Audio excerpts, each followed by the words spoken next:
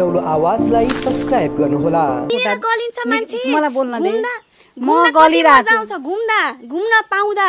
मेरो लाइभ बस्नु छ अब। मामु! लाइभ बस्नु छ तेरो चौबिसै घन्टाको नाटक। जब धन्दा गर्ने बेला हुन आँटो जब काम सुरु हुन्छ नि अब उसको टिकटकमा लाइभ सुरु भयो एकदम कसैले पनि नबोलाउने उसलाई पर्दैन बोलाउनु।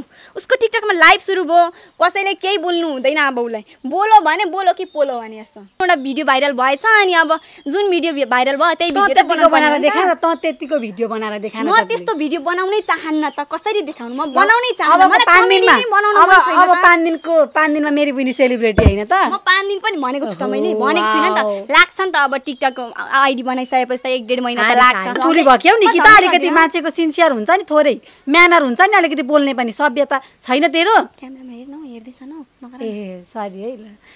म होइन भाइरल म छु नि त। उहाँले मलाई सोधिरहेको भाइरल- पक्क नबोल्न बिचमा भाइरलै चाहिँ क्या। भए पनि त म पनि त हुन्छु नि त अब एक डेढ महिनामा त। म पनि त हुन्छु नि त। टाइम लेखेर राख्नु है सबै यहाँ लेखेर राख्नु है। भाइरल लेखेर। राख्नु है सबैजनाले। घरमा यस्तै भएर म लुती भएको क्या। यही कचङ कचङ कचङ। मोटी छु नि त एकदम खाइलाग्दी।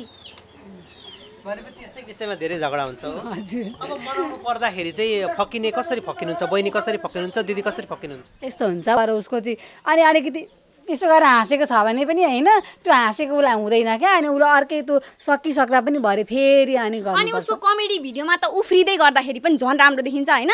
अब सिम्पल खालको साधारण भिडियोमा त स्लो गर्दाखेरि अलिक टाइम लाग्छ नि त। खिचिदिने कसले बढी खिचिदिन्छ तपाईँ? मैले खिचिदिन्छु। ए तपाईँले उहाँको उहाँले तपाईँको हो? यसले यसले मेरो खिच्दी भन्दा नि पृथ्वी पल्टिन्छ अहिले भूकम्प आउँछ भन्दा नि हुन्छ।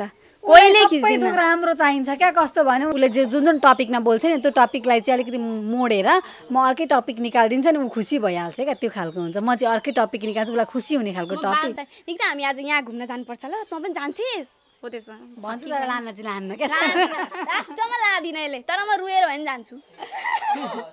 आउनु कसरी प्यारा आउनु कसरी लुकी लुकी चोखो माया लाउनु कसरी प्यारा लाउनु कसरी चिसो चिसो हावा खाँदै मिठा कुरा गरौँला कुरा गरौँला माया कुरा गरौँला।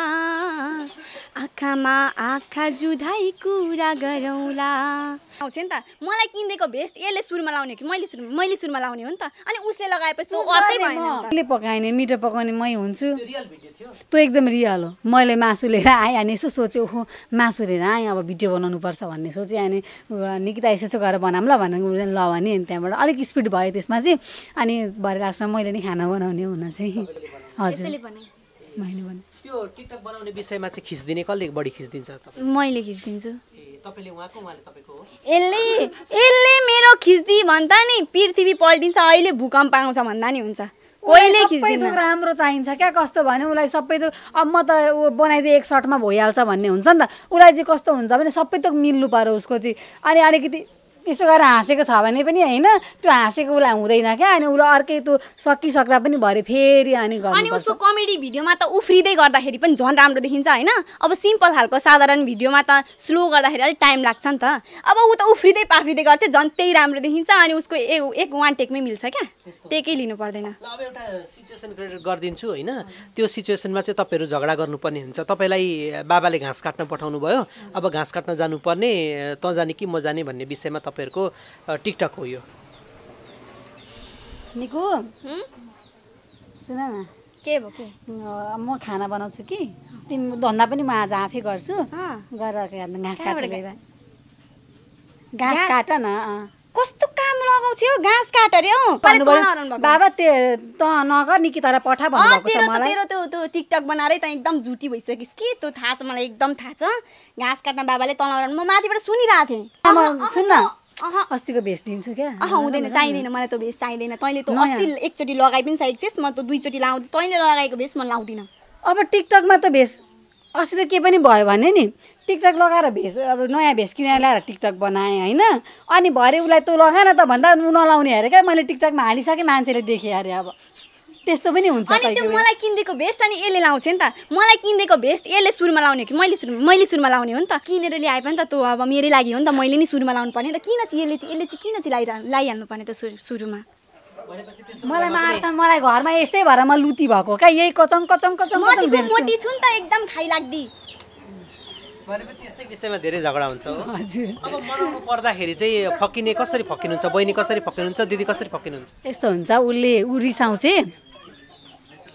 उसले ऊ रिसाई भने चाहिँ कस्तो हुन्छ भने ऊ रिसाउ ऊ रिसायो भने मलाई थाहा हुन्छ क्या यो रिसाई भन्ने कुरा। अनि म चाहिँ उसले जे जुन जुन टपिकमा बोल्छ नि त्यो टपिकलाई चाहिँ अलिकति मोडेर म अर्कै टपिक निकालिदिन्छु नि ऊ खुसी भइहाल्छ क्या त्यो खालको हुन्छ। म चाहिँ अर्कै टपिक निकाल्छु उसलाई खुसी हुने खालको टपिक। भने पनि अब मलाई के कुरा मनपर्छ होइन? अनि त्यो टपिक निकाल्छ क्या। निकिता हेर्न मलाई त यस्तो मान्छेले यहाँनिर बोलाएको छ के गरौँ? निर्भा हे निकिता हेर्न यति भोटो आयो मेरो त भन्छ होइन? अनि त्यसलाई निकिता हामी आज यहाँ घुम्न जानुपर्छ ल तँ पनि जान्छेस्? हो त्यस्तो। भन्छु तर लान चाहिँ लान्न क्या। लास्टमा लादिनँ यसले तर म रुएर भए पनि जान्छु। सुने मैले होइन निकिताले त मिठो गीत पनि गाउनुहुन्छ अरे। एउटा गीत गाइदिनु न सुनौ। बिहानै उठी आऊ है माया चौतारीमा बसौँला। चिसो चिसो हावा खाँदै मिठा कुरा गरौँला कुरा गरौँला माया कुरा गरौँला। आँखामा आँखा जुधाइ कुरा गरौँला। बिहानै उठी चौतारीमा भेट्न आउला भनेको धेरै भयो तिमीसँग कुरा गर्न नपाएको। आउनु कसरी प्यारा आउनु कसरी? लुकी लुकी चोखो माया लाउनु कसरी? आउनु कसरी? प्यारा आउनु कसरी? लुकी लुकी चोखो माया लाउनु कसरी? प्यारा लाउनु कसरी? मिठो गीत गाउनुहुँदो रहेछ। तपाईँको टिकटकमा फलोवर कतिको हुनुहुन्छ? कति? मेरो मेरो फलोवर्स नै हुनु न धेरै हुनु न। हजुर एउटा टिकटक बनाउँला? तपाईँहरू दुईजना चाहिँ अब मैले निरूपालाई सोधेँ। तपाईँको टिकटक त एकदमै भाइरल छ भन्दाखेरि बहिनी र दिदीको झगडा होइन? म पनि त मेरो पनि त भाइरल हुन आँट्दैछ नि। मैले त भर्खर सुरु गरेको हो भन्ने विषयमा चाहिँ दुईजना बिचको झगडा है त। ल निरूपा तपाईँ त एकदमै टिकटकमा भाइरल हुनुहुन्छ है? हजुर। म एकदमै भाइरल छु निरूपा भण्डारी भाइरल छु। म पनि भर्खर भर्खर स्टार्ट गर्दै गरेको कि अब एक महिना दुई महिना एक दुई महिना त म पनि गीत गाएर भए पनि जसरी भए पनि भाइरल त भइहाल्छु नि। अब ऊ कमेडी बल्ल बल्ल डेढ वर्ष भएको थियो होइन टिकटक बनाएको पनि।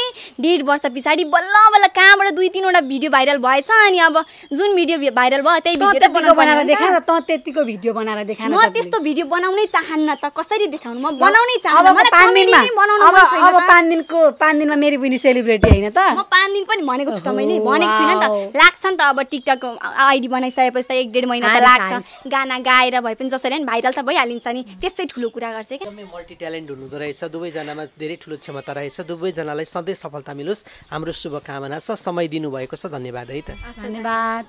धन्यवाद। धन्यवाद धन्यवाद।